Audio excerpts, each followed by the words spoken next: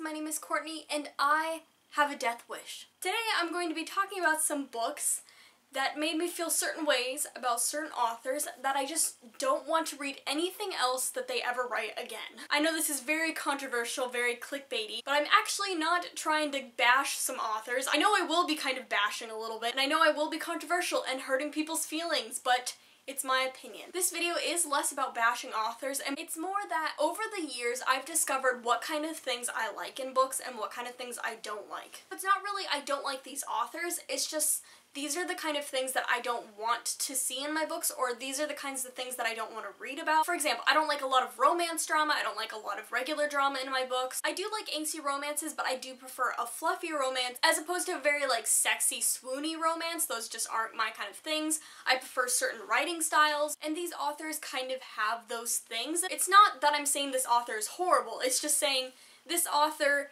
has this kind of writing and I don't like to read this kind of writing, so I'm not going to read this author. I tried to make it from like the least controversial to the most controversial or kind of go with like ones that if you've watched my channel you'll you like know I don't like so it's a gradual increase of shock factor maybe although I think the last couple books on here if you've watched my channel will be very obvious. So the first author I'm going to start with is James Patterson.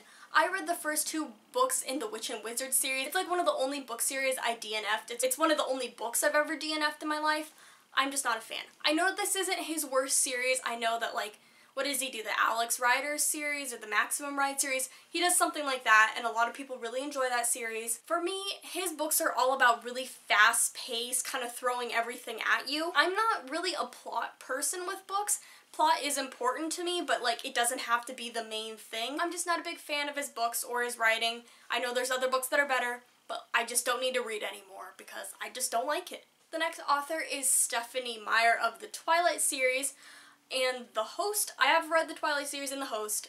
Yes, I was obsessed with Twilight for like two months when everybody was obsessed with it, but I am past that. When it comes down to it, just don't really like her romance plot lines, don't like her writing. I know a lot of people do like The Host, a lot of people still like Twilight, nothing wrong with that. It's just not what I want to read about. Just don't feel like I need to read anything more from her. Like, there's just so many other books, like why would I waste my time with Stephenie Meyer when there's things that I really, really want to read. Next author is Ridley Pearson. I have read Peter and the Starcatcher series, which he co-authored, and I have read the Kingdom's Keeper series, which he wrote himself. This series is not that great let's be honest. The writing is kind of eh.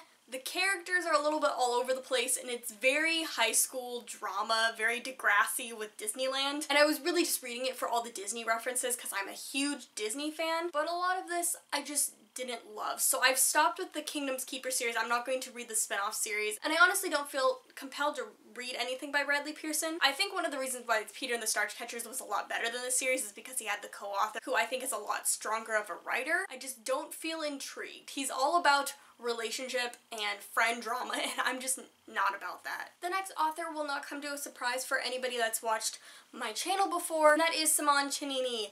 I hate this series so much.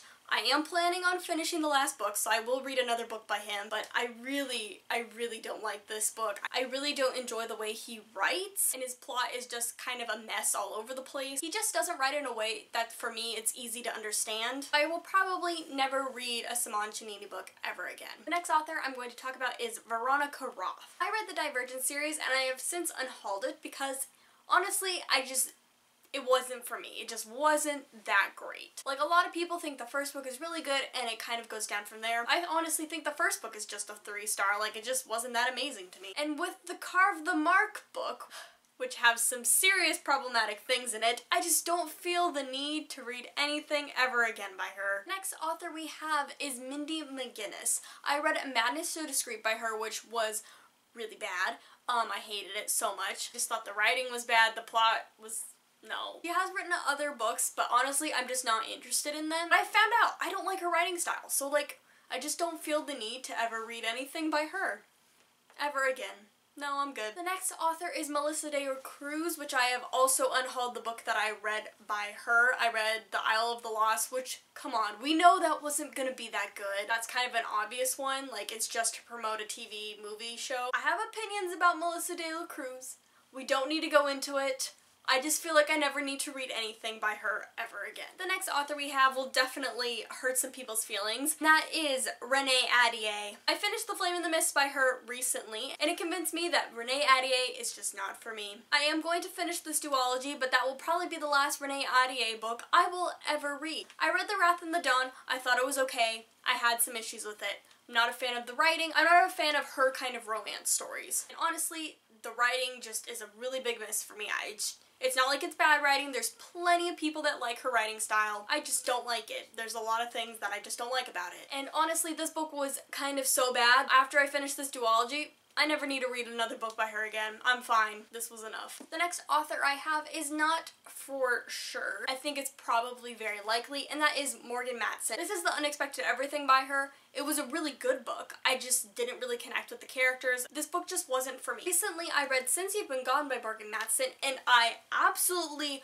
adored this book. I really, really liked it a lot, a lot, a lot. So why am I not going to read anything by her? Like, these last two books were really great. The other books that she has is Second Chance Summer and somebody's epic detour. It's like the road trip book. Amy and Roger's epic detour, I think. I'm just not really interested in those stories. I'm not the biggest contemporary fan and I'm very particular about what I like in contemporary.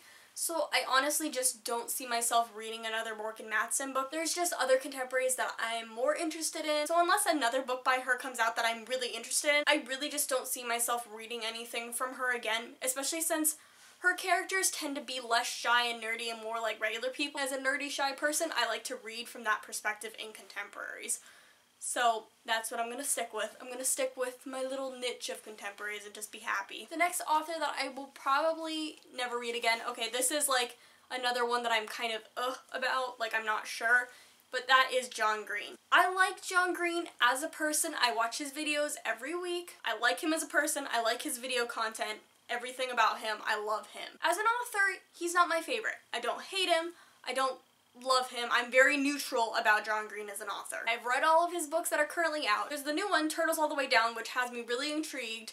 Honestly, I might read it. Like, I feel like I'm saying, I'm not to read a John Green book ever again because I don't really care, but then I'm to go turn around and read Turtles All the Way Down because it's coming out and everybody's getting excited for it. So maybe I'll buy the book and read it just to support John Green as a person. But honestly, I don't really feel like wanting to read it, but I am intrigued by the mental health girl character. That sounds really interesting. So now we're going to get into the two very big authors. These people have avid supporters, avid followers. This one is for sure. I will not be reading anything else from these two authors ever again. It's like it's kind of set in stone. The first author we have is Sarah J. Maas, who wrote the Throne of Glass series and has written, what, the Court of Mist and Fury series? I am like this close to like DNFing the whole Throne of Glass series and not finishing it.